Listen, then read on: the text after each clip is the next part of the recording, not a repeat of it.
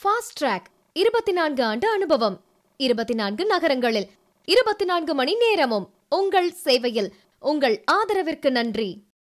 கோடை வெயிலின் தாக்கத்தால் மிளகு கொடிகள் வேரோடு கருகி வருவதால் தருமபுரி மாவட்ட விவசாயிகள் செய்வதறியாது தவித்து வருகின்றனர். அரசு உரிய நிவாரணம் வழங்கவில்லை எனில் பிழைப்பு தேடி வேறு ஊருக்கு செல்லும் நிலைக்கு விவசாயிகள் தள்ளப்பட்டுள்ளனர்.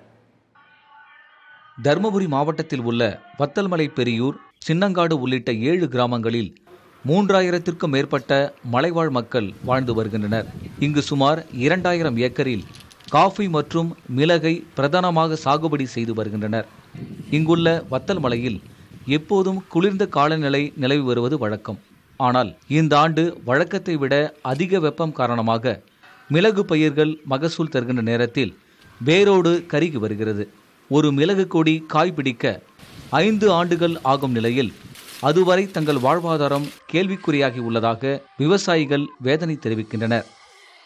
இதெல்லாம் பார்க்கும்போது அப்படிருந்து துளுக்குமாண்டு யோசனை பண்ணுறோம் இன்ன வரைக்கும் நம்ம துளுத்து காய் வந்தது இல்லை. இதெல்லாம் எடுத்துட்டு சுத்தமாக க்ளீன் பண்ணிவிட்டு புனி குழி எடுத்து முன்னாடி குழி எடுத்து அப்புறமா இப்போ கூண்டில் வச்சு பண்ணோம்னா அஞ்சு வருஷம் ஆனால் தான் அதுக்கு நாங்கள் பயிர் அடையும். அது வரைக்கும் நல்லா நிவாரணம் இருந்தால் எதை செலவு பண்ணி காப்பாற்றுறாங்கன்னா ஒன்றும் பிழைக்கிறதுக்கு வருமானம் இல்லாமல் ரொம்ப சிரமமாக்கும் கஷ்டமாக்கும். எங்களுக்கு உதவி பண்ணுன்னு தான் நாங்கள் பார்த்துக்கிட்டு எதிர்பார்த்துட்டு இருக்கிறோம்.